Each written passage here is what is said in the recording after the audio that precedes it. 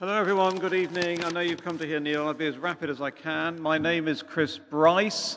Uh, I was a sometime member of the JustShare Steering Group and possibly one of its founder members. I'm now vicar of a church in Kentish Town in the middle of a very large, very deprived housing estate where we have about 70 names on our war memorial and where some of our church members have been interested in the anniversary of the First World War, including wanting a service and to plant poppies and various other things. But you've come to hear Neil, uh, who very roughly was brought up uh, somewhere in Tunbridge Wells. He educated at Cambridge and London. He works as a freelance lecturer, editor, writer, excavator, and occasional broadcaster. He lectures widely in archaeology, ancient history, classical civilization, modern history, and current affairs. He's editor of a popular magazine, Military History Monthly. He has the author of numerous academic papers and seven books, his latest being a Marxist history of the world from Neanderthals to neoliberals. And he's director of several archaeo- archaeological projects from Sedgeford in Norfolk all the way to a great Arab revolt project in southern Jordan associated with Lawrence of Arabia's campaigns. He also appears on TV, including Channel 4's Time Team, BBC 2's Time Watch, Channel 5's Revealed series, and he's a leading consultant and contributor for Sky Atlantic's The British series. He's the man you've come to hear. I'm going to hand over to him, and I, Neil, welcome. Very much look forward to hearing you and to having questions afterwards. Thank you. Thank you very much. Is the volume okay? Is it comfortable? Okay. What I, I mean, I understand that the, the, sort of theme very much of these talks is ethics. So I'm going to say something about ethics right at the very beginning before talking specifically about the First World War. And I would say this about ethics they do not exist in abstraction, they do not float around in the ether, they are socially embedded. There are no absolutes when we think about um, ethics. So it is not possible to say war is always wrong as a kind of ethical abstraction. There are certain circumstances when it is not wrong. And those circumstances are when there is a greater violence that will be done if people do not defend themselves. And I'm going to give you one or two examples of what I mean by that.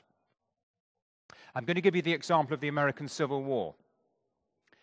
And I would say about that conflict, it was a just war, a just and necessary war, because of the violence of human slavery.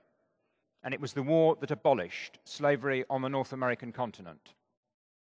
And I think it would have been wrong for ethically upright, moral people to oppose the Union war effort between 1861 and 1865. I'll give you another example. The Irish were entitled to fight to get the British Empire out of their country between 1919 and 1921. They were entitled to fight in response to the violence of the British Army, the British created police force, and the Black and Tans. That was a just war. It was a war against a greater violence represented by imperialism. I'll give you a third example.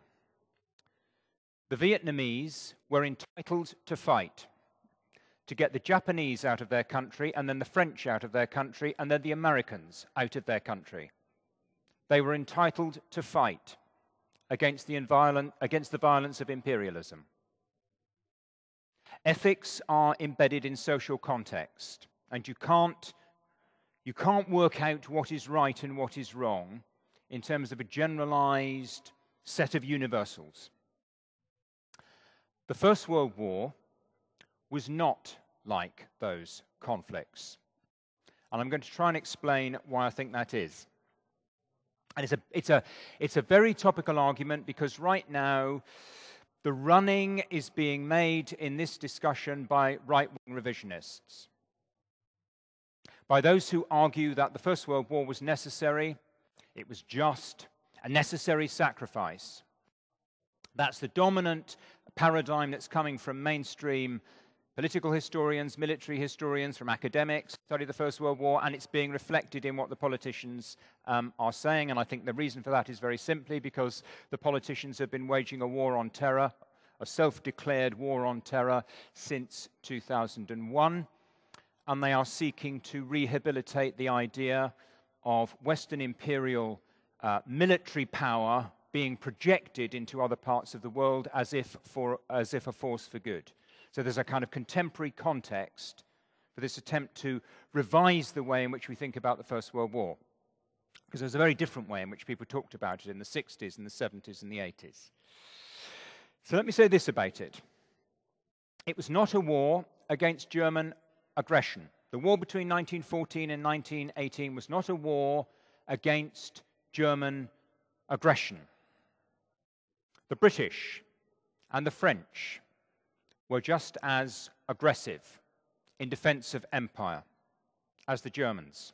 It was the British who had engaged in a naval arms race and outbuilt Germany in the years leading up to the First World War. It was the British who had formed an alliance with the French and the Russians and encircled Germany. It was the British who controlled the biggest overseas empire in the world. The British were militarizing, they were building alliances, and they were doing that in order to defend the fact that they had the biggest empire in the world. It's not about German aggression versus the peace loving Western powers. Nor is it about German autocracy, a war against Prussianism, a war against a particular style of government. And that's another part of the argument that has been uh, put, that was put at the time actually, and is put again now. half the working class, half of working class men in Britain in 1914 didn't have the vote. It wasn't just women who didn't have the vote, half the working class. Working class men didn't have the vote either. 40, 40, 40% of men across the, across the whole country. Everybody had the vote in Germany. Germany had universal suffrage. So the idea that this is a uniquely, especially autocratic kind of uh, system um, is false. And of course, and the French were in alliance with the Tsar, the most autocratic government in the whole um, of Europe. And if it was about German autocracy, let me tell you this there was no democracy under the British Empire in Ireland, Egypt, or India. The idea that this was somehow a war for democracy against a more autocratic system of government is clearly false. And there's a third argument they put. They put the argument that it was a response to German atrocities. The Germans were particularly nasty. They killed 6,000 Belgian civilians. They did. They were nasty. And so were the Belgians, who were the allies of the British and the French, who were chopping off the hands of children in the Congo because they did not meet their rubber quotas on the plantations. And so were the Serbians nasty. And they were allies of the British and the French, so we don't talk about those atrocities, but they were ethnically cleansing Muslims from the territories that they had taken in the Second Balkan War, in the First, Balkan, first and Second Balkan Wars, 1912 1913. And so was the Tsar in alliance with the British and the French, presiding over a nasty regime guilty of atrocities. When the Tsar's army went into Galicia, they murdered large numbers of Jews. They carried out anti Semitic pogroms.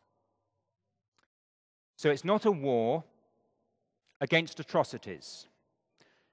It's a war being committed, it's a war being waged by different imperial powers, all of whom are guilty of atrocities. What's it really about? It's an imperialist war.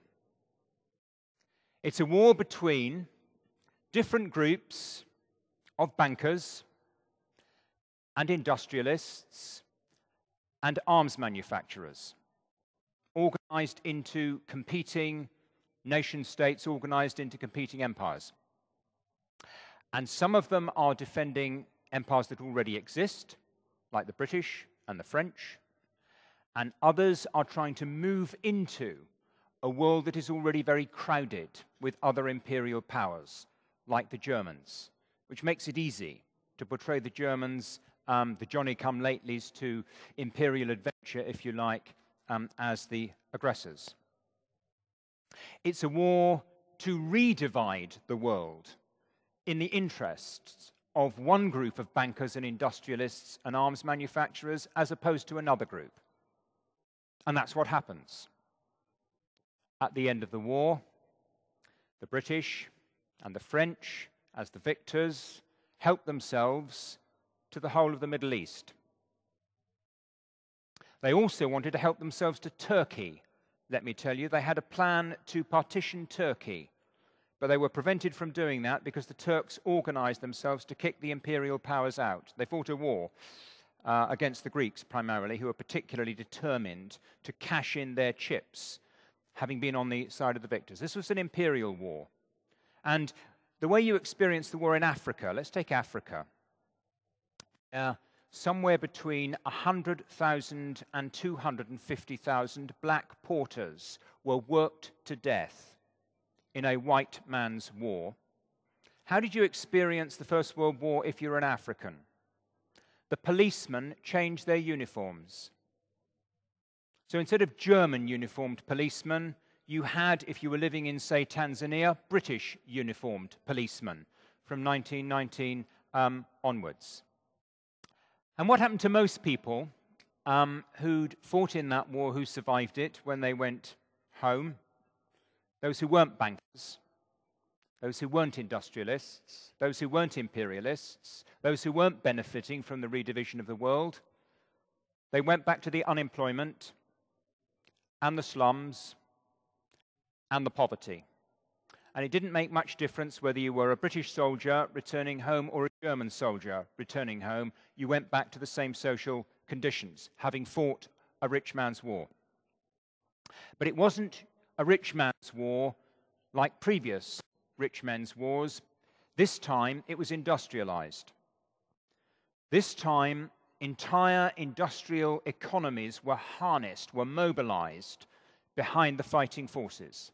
So instead of armies of tens of thousands, or even hundreds of thousands, this time it was armies of millions.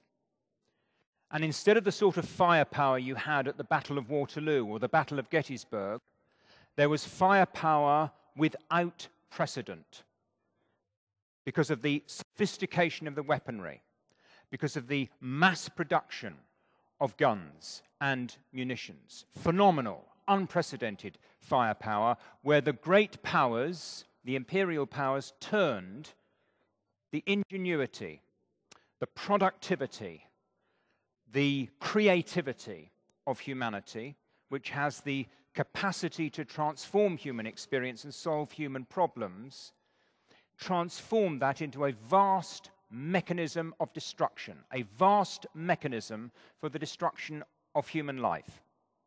That's why people opposed it. They opposed it before it started, they opposed it while it was happening, and they opposed it at the end and brought it to an end. In Britain, there were a number of different types of people, a number of different groups of people who opposed it. Despite the wave of jingo and propaganda and intimidation when the war broke out, despite that, there were people who stood their ground. There's an old British tradition that really goes back to the 16th century, the Reformation, the 17th century, the Revolution, a tradition of asserting the rights of the freeborn Englishman and woman, a tradition of nonconformity, of radicalism, a tradition of saying we have a right to say no, a tradition of pacifism. That tradition was still alive uh, in 1914. It takes the form of conscientious objection. And in the course of the First World War, there were something like 20,000 conscientious objectors in Britain, 6,000 of whom were imprisoned for their resistance to the war, some of them with religious motivation, particularly Quakers, some of them philosophical or political motivation. The most famous of those is Bertrand Russell, who was put in prison at the time of the First World War. That's one strand of opposition. A second strand of opposition were the socialists. uh, people like Keir Hardie, the leader of the Labour Party, Ramsay MacDonald, later a leader of the Labour Party, some of the existing socialist movements said this is an imperialist war and we will not support it. A third strand were the suffragettes. The suffragette movement was split down the middle. By the way, if you were a suffragette fighting for the right to vote, the enemy was not the German Kaiser. The enemy was the liberal government that would not grant the right to vote. The suffragette movement split um, with the cons- more conservative members of the movement, Emmeline Pankhurst and Christabel Pankhurst, encouraging men to volunteer to go and fight. The radical wing, led by Sylvia uh, Pankhurst, breaking with um, the rest of the suffragette movement in order to oppose the war. A fourth strand were the militant trade unionists, the shop stewards, the syndicalists. And by the way, if you were a miner in South Wales, or you were an engineering worker in the Glasgow shipyards, the enemy was not the German Kaiser. It was the mine boss in South Wales or the shipyard owner in Glasgow. And militant shop stewards understood that the real enemy was at home, and there was a strand of opposition to the war there. And the fifth strand in Britain were the Irish nationalists. Ireland was divided, of course, by the war. Conservative nationalists said we should support the British war effort. Radical nationalists said that we should not. It's their war. The real enemy is um, the British Empire. Irish nationalists opposed, uh, um, opposed um, the war, both in Ireland and in Britain. Despite this, these groups are a relatively small minority in 1914, and it's the same across Europe. Across the whole of Europe, there's a wave of jingo and euphoria about the war when it first breaks out. The people who refused to succumb, the people who said, This is a rich man's war, this is a war for power and profit, this is a war for empire, the people who had the courage to stand on that ground acted as a rallying point.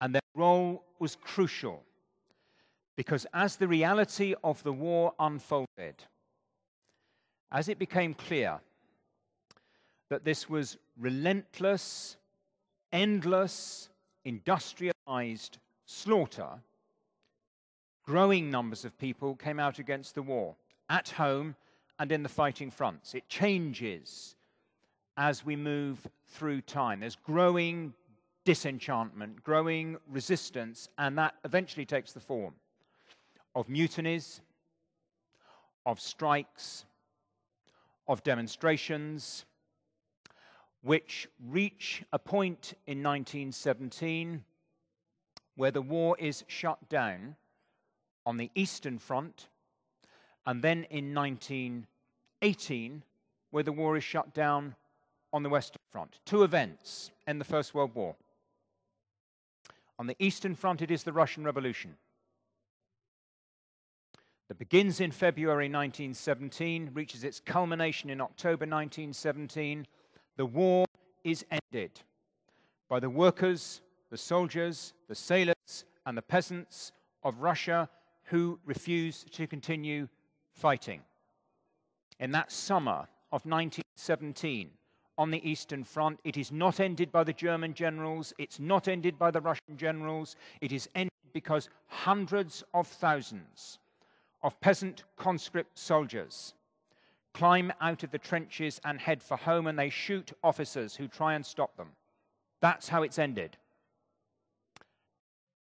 And in Germany, at the time of the armistice, I'll tell you why. The German generals agreed the armistice when they did in, on the 11th of November 1918.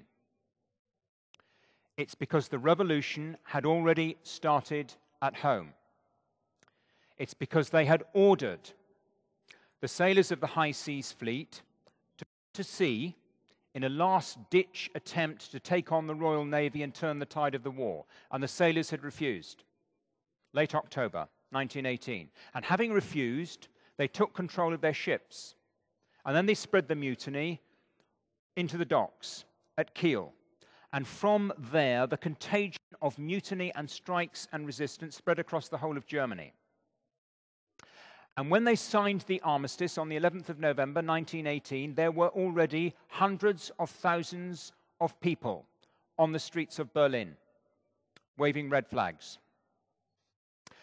And the reason why the German generals agreed to the armistice when they did was because they could see that if they did not sign the armistice, the German army would join the revolution and collapse in exactly the same way as the Tsar's army had done the previous year on the Eastern Front.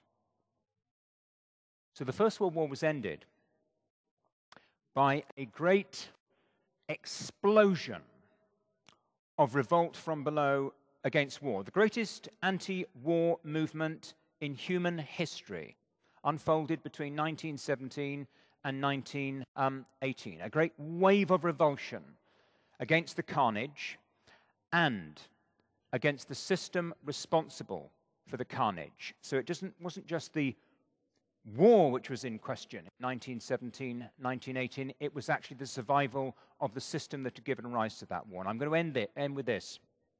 It's one of my favorite anecdotes.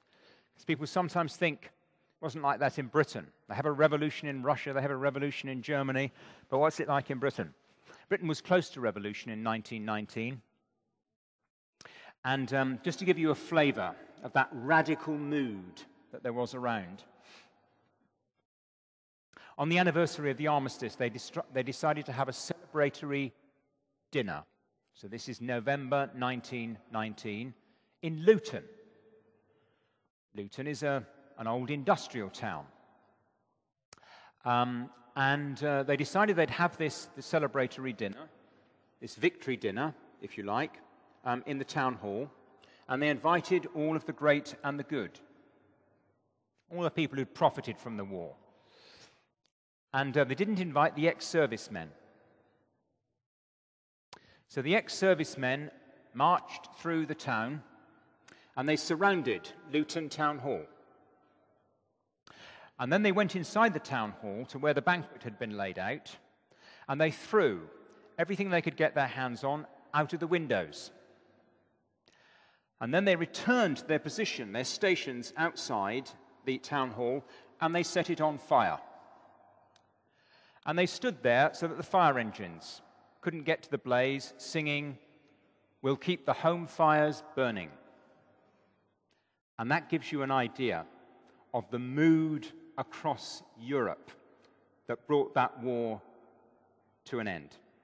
That was a war for the rich, for profit, for power, and for empire, and a war which ordinary working people had, should have had no part in. There you go. Time for questions and uh, comments and disagreements. I hope disagreements.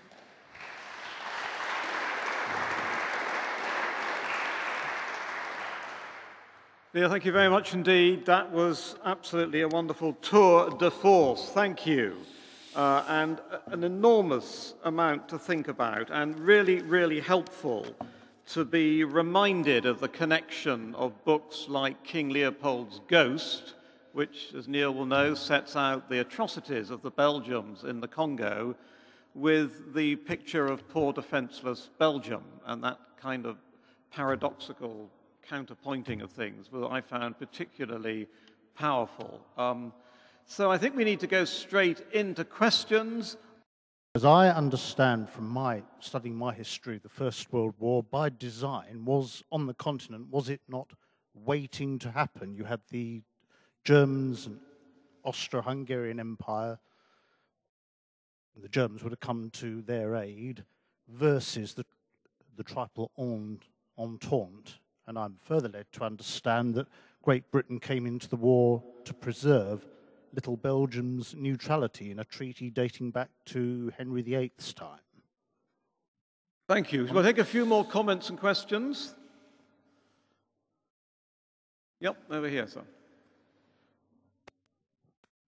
Um, a very intriguing speech. I'm, I'm not a military historian. I have studied a bit of history. I think the notion that it was an imperial war would not be disagreed by even conservative historians. Lawrence James, in his History of the British Empire and his most recent book about Churchill and the Empire, describes it as an imperial war.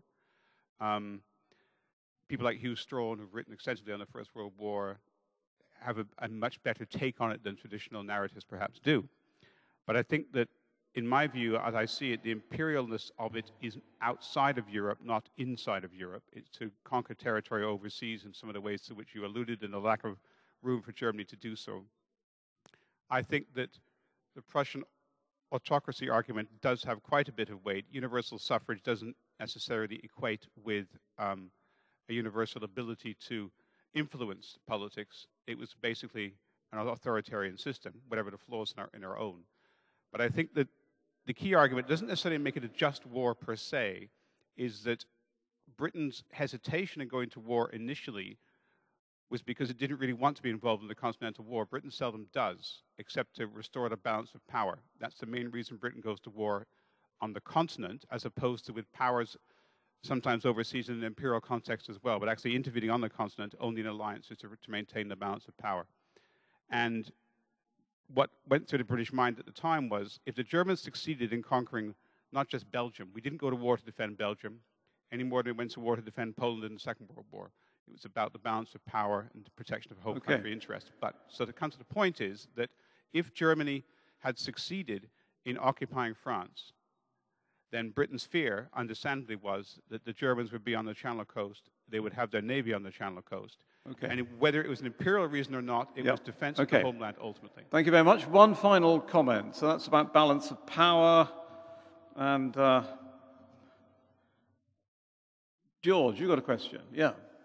Um, I read um, Max Hastings' book, 1914, which is um, a fairly substantial book and maybe one of the right wing revisionists' uh, works to which you allude at, at, the beginning. And what slightly surprised me about um, uh, his account, um, but it seemed to be authoritatively expressed, um, was that even up to the last few days before war, the British government was keen to avoid it, and many in the cabinet were unpersuaded. And I think, I think it was Haldane who resigned, if I'm right, or somebody resigned. A couple of two resigned. Because, yeah. and, and indeed, had, had the Germans gone round Belgium, we might not have signed up to war, or at least not at that moment. That's what Hastings seemed to maintain. Um, but the commitment to Belgium was based on on um, the treaty at the foundation of Belgium, which I think is something like 1830 or a bit later on. I can't okay. quite remember, 1834 Thank perhaps. Thank you, George. I mean, if I may, Neil, you'll do better than I do. But basically, a war waiting to happen, uh, sort of current understanding. Poor little Belgium needed to be, you know, defended, which is a very, you know, sound and good perspective. Secondly, that, all, that the imperial war idea is a little bit dodgy because maybe the imperialism was outside Europe, and some of the sort of uh, trump cards that Neil delivered about universal suffrage, etc., not quite as Trumpish as they appear when they're examined because maybe Germany wasn't all it was cut up to be at the time uh, balance of power argument. Um, what do you do if Germany practically, pragmatically, for all the theory and the sort of idealism, what do you do if Germany ends up on the Channel coast uh, and we do nothing and we just lie down and say, do what you like in Europe, you know, and we'll pick up the pieces afterwards? Uh, and thirdly, that the British government actually was quite keen to avoid the war. So the idea that it was actually a sort of war by the people in power, be they politicians or bankers, that we try to avoid war right up to the end and may not even have fought, certainly not at the time that we did. Neil. Okay, there's lots there. Um, let, let, me, let me do, um, let me approach some of these points um, uh, in, a, in, in a generalized way. If you want to understand history, you need to think in terms of a series of frames. And you can you can focus on a, very small frame. And the very small frame might be Belgium, the question of Belgium. What do we do about the German invasion of Belgium? And to understand why Belgium matters, you have to look at a slightly bigger frame. And the bigger frame is to do with the balance of power in Europe, which has been referred to. But to understand why the balance of power in Europe matters, you have to look at a bigger frame. And the bigger frame is that these powers are competing with each other for empire. And if you want to understand why they're competing with each other for empire, you have to create a bigger frame. And that is the competition for markets, for raw materials, for opportunities to make profit between the banks and the corporations that are represented by these nation states. Imperialism is the big frame. You need all of those frames, otherwise, you don't have context. You cannot orient yourself in the historical process unless you see the whole. The great German philosopher Hegel said, The truth is the whole. Any bit of historical understanding, any attempt to understand a particular historical event requires you to understand the whole. It requires you to understand how the detail that you are focused on at this moment in time is part of something much, much bigger. Why does Belgium matter?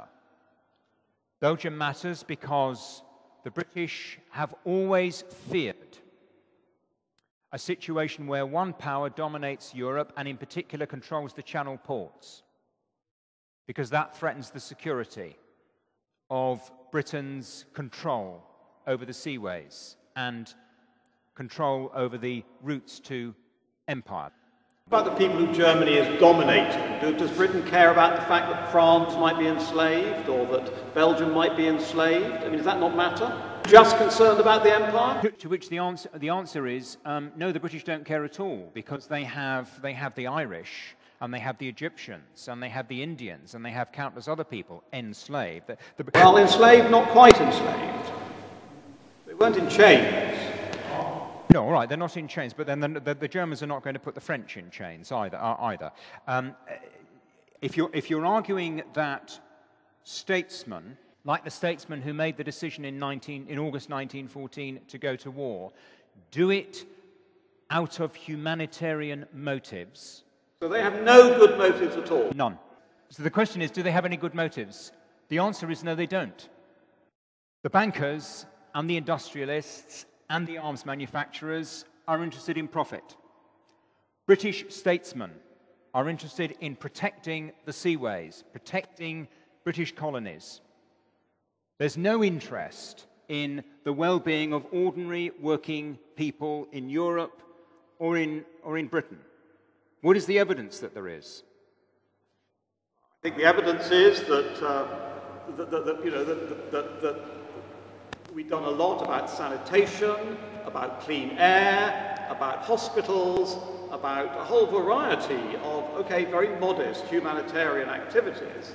But actually, all I'm, I mean, I'll stop and other people can talk, but, but to label one group of people as entirely corrupt with not one iota of altruism, I just find slightly baffling.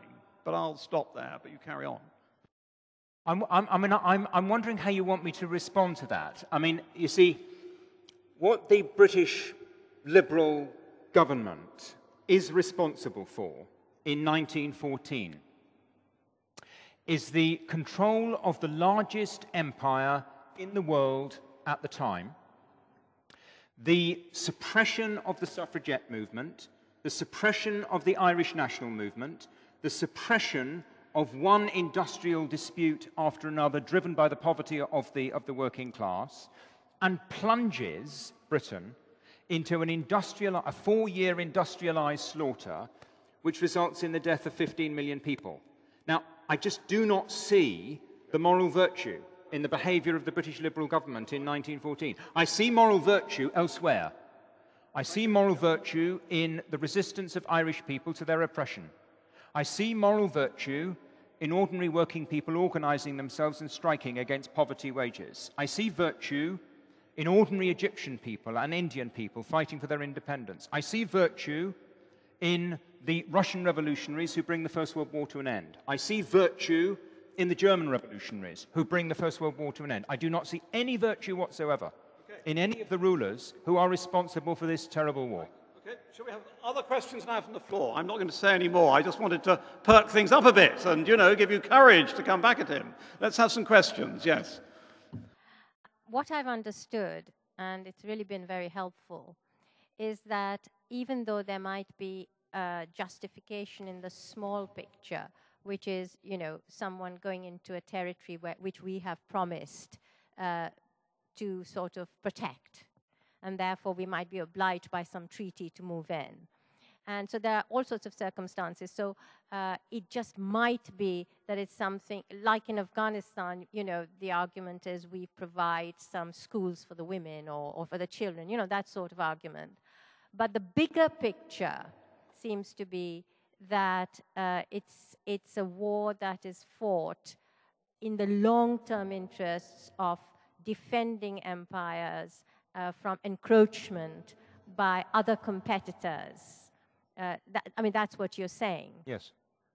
So, um, therefore, there may be rights and wrongs in the immediate um, situations, but the larger situation is that millions of people lose their lives in, the, uh, in an objective, in pursuing an objective which is not in their interest. Yes. Yeah. And if that's the case, then today we stand in a moral situation where we are aggrandizing, um, you know, what happened. And also we are almost victimizing the victims again because what we are saying is all those people who gave their lives gave it as a sacrifice, which implies that they had a choice. You know, it, people sacrifice their lives when they have a choice. But if millions of people were simply drafted in and kept in their positions regardless, they'd had no choice, then they're not so much sacrificing their lives as they're losing it whether they want it or not. Okay, thank you very much. Let's have another comment from the floor. Yes, sir. Um, I, I, read a book about 1914 and the different nationalities involved, and I think um, it, I can't remember the author's name, but it was um, he came out with the point that Britain was the least prepared because it had the Irish problem, and that was a major factor which had weakened. Britain was the least prepared. Prepared. Yeah, or, or you know, it's the wrong word. Prepared, able to meet any aggression. Thank you. Comments on that. Final comment at the back there. Yep, glasses. Thank you. Thank you. Two short questions, please. Why did the Americans take so long to join this orgy of plunder? Second question What lessons would you like us to learn from this view about, from the speaker's view, about current political decision making? Thank you. So, should we begin with those two questions about why did the USA take so long to join this orgy of slaughter, and what lessons is there for us today? Okay, let's, uh, let's deal with America first. I, I, think what is happening in America is that American opinion is uh, shifting. And there's an argument going on inside American society, and there's an argument going on at the top about whether America has interests in Europe and the wider world, as opposed to America being restricted to having interests which are essentially uh, within, within the American, the two American continents, North America and South America. That's an argument which is happening inside America at the time. And it's not until 1917 that the argument is won that actually America has an imperial mission, a global, a global mission. I think that's the, that's the answer to that, the basic answer to that question. The second question what lessons would you like us to learn from this speaker's view about current political decision making? Well, okay. Well, look, I, I, maybe maybe the best way to answer that is, the, is, is for me to suggest that we deconstruct one of the categories that's being, that's being deployed. You see, I, I don't accept that there is a meaningful category, which is Britain, that, that Britain is an entity. Britain does this, Britain does something else. Is it in Britain's interest? Is Britain acting correctly? Because Britain is not an entity. Britain is a deeply class divided society now as it was in the past. And that means what's in the interests of some people in Britain is not in the interests of other people in Britain. So if it's a matter of political decision making, I would say that the political decision making in Britain today, as in 1914, should not be made by millionaire politicians. who represent the interests of bankers and corporations. I think, I think political decision making should be made by ordinary people. But insofar as ordinary people organize themselves to try and make their voice heard, they face resistance because democracy is dangerous. Democracy is subversive. Democracy is threatening to those in power. And it's right to say, when they talk about the sacrifice, in inverted commas, of all of these soldiers, which is what the language used by politicians and revisionists, most of the soldiers who fought in the First World War had no choice. The vast majority of them were conscripts who were sent into uh, the inferno. And even those who were gulled into volunteering. And that's what it was, included my granddad, by the way. My granddad was a volunteer, fought at Loos, fought at the Somme, and was then in the Royal Flying Corps. Even those who were gulled by the propaganda into fighting um, a rich man's war, many of those people turned against it when they found out what it was actually like. The war was contested inside the war. Now, why is the war being contested inside the war?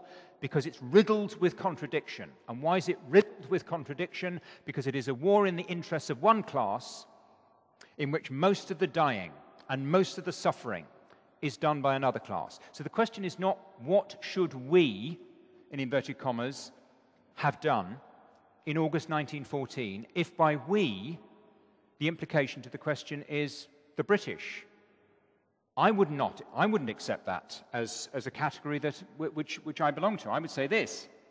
If I was in Britain in August 1914, I would say that we, the European working class, the European labour movement, representing the interests of the ordinary people of Europe, we, in that sense, should have acted on what we had voted for again and again and again at our trade union conferences and our Socialist Party um, conferences in the run up to war, which is that there should be coordinated, European wide strike action and demonstrations in the event that Europe's rulers went to war. And had that happened, had the German railway workers struck against the war at the end of July 1914, no German soldiers would have moved to the frontier. It was all dependent on rail traffic. So, do you blame them for not striking? Is it their fault? It's the fault of their leaders.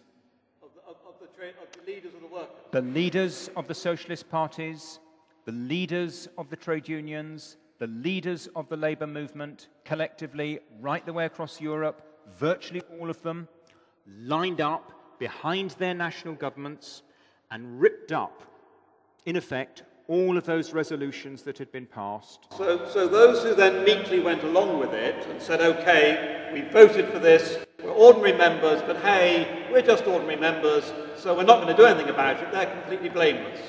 It's very, very difficult to organise a strike especially a national strike, even more an international, an international strike, if your leaders have abandoned you, because your leaders are the mechanism whereby you tie together large numbers of people. That's the problem.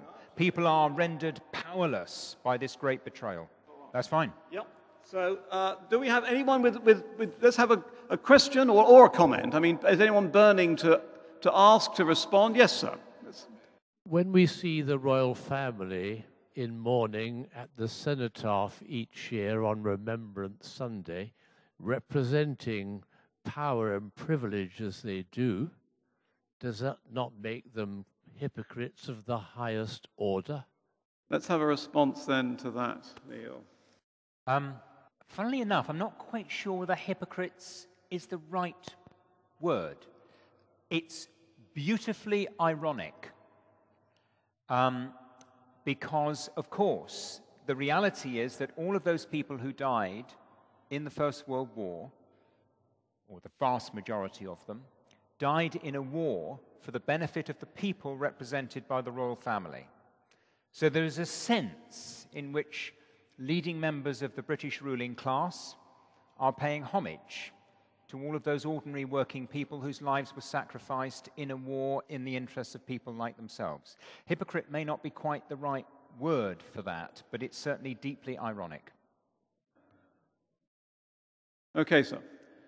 Dr. Faulkner, I was surprised to hear you say that there was very there was there was limited suffrage for men just at the time of the First mm. World War. Certainly, I know it didn't exist for women, and yet there was universal suffrage in Germany, as I was given to understand that German imperial Germany, as it then was, was an autocracy. So surely you bring in the argument that democracies do not make war on democracies. We were a liberal democracy facing autocratic imperial or the Kaiser's Germany.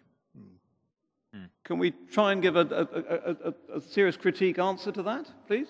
As you have done to all the others. I mean, this is, the, uh, you know. Well, I, I, I, agree yeah. with what's been said. Oh, right. Can you just, um, yes, sorry, say a bit more. No, no, I mean, I, I, I agree completely. I mean, one, one of, both at the time and now, one of the things that was said was that Britain, were, Britain represented something that was democratic and better than Germany, which was dominated by Prussianism and autocracy and so on. And one general comment on this is that I think one of the things that's been happening over the last, I suppose, since the centenary began, is that, and this is, this is reflecting on the way in which revisionist history has shifted the argument over the last couple of decades, I suppose, is that many of the arguments that were put at the time to justify the war have been rehabilitated.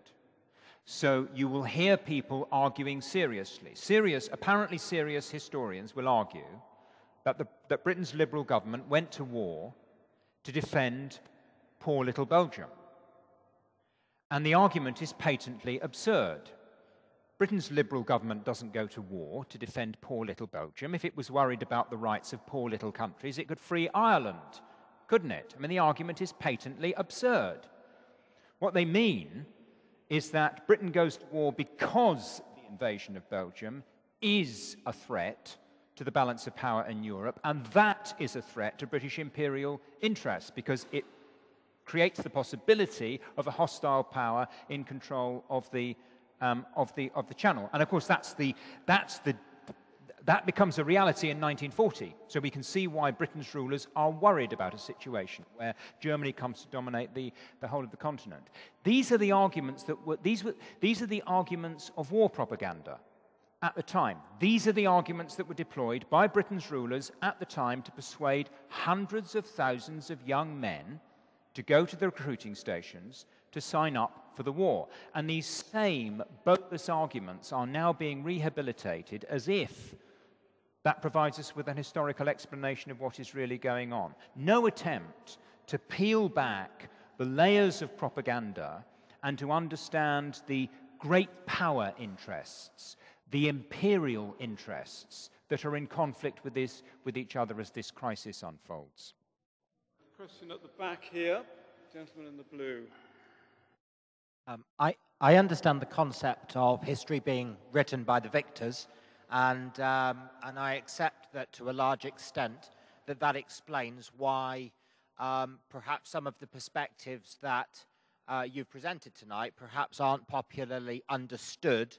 Um, but it strikes me that there are interest groups within Britain, the church um, being one of them, being in a, in a church this evening, who perhaps should have done more and could have done more over the years to represent the kind of um, very clearly anti war perspective that you've presented tonight and to uh, present some of the arguments and would have reason to do so and yet seem to have miserably failed. Um, either have they been, I suppose my question is, have they simply been unsuccessful? Um, or is there another reason in your mind as to why um, some of what you've presented tonight has simply not been more uh, available in terms of uh, popular thought. From your perspective, Neil, your academic and your ideological perspective on that. You see, I, I, th- I think it's, terri- you see, it's terribly difficult when they start banging the war drums. It's hard enough now. I mean, it was hard enough in 2001 when they sent the troops into um, Afghanistan.